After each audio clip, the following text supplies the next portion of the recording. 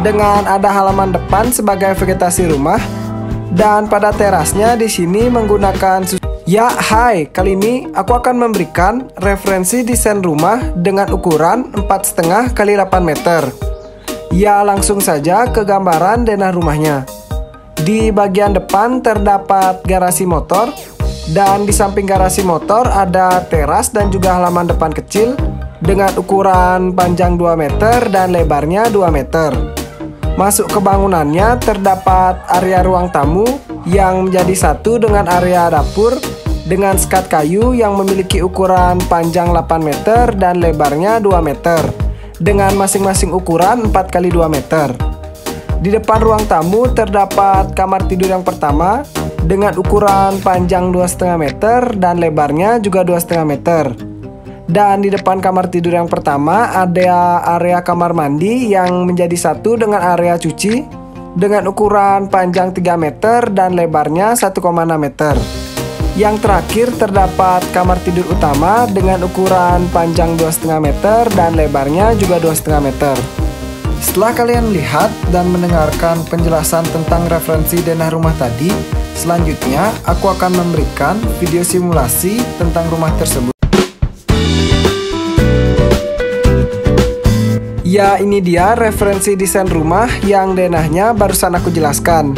Desain ini diambil dari beberapa request.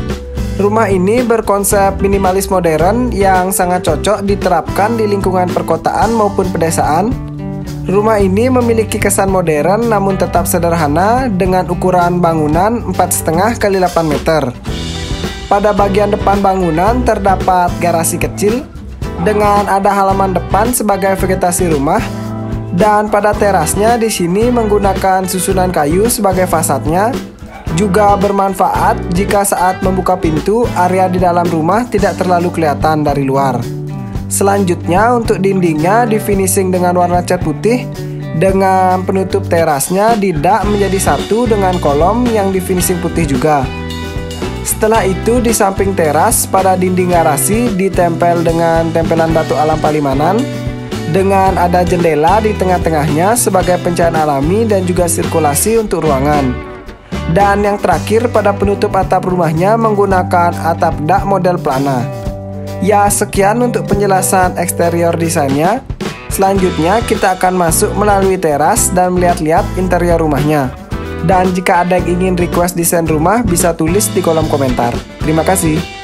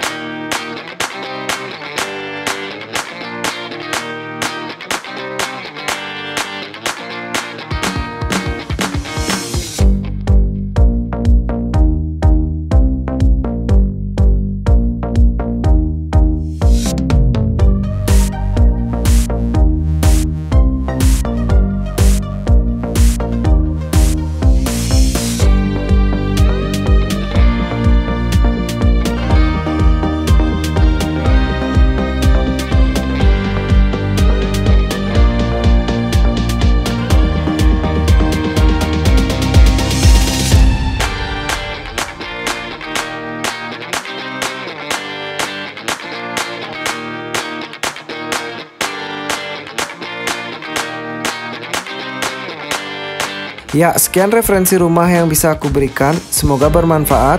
Dan jika ada salah atau saran bisa diberitahu lewat kolom komentar. Dan jika teman-teman ingin dibuatkan request desain rumah, bisa tulis di kolom komentar. Terima kasih.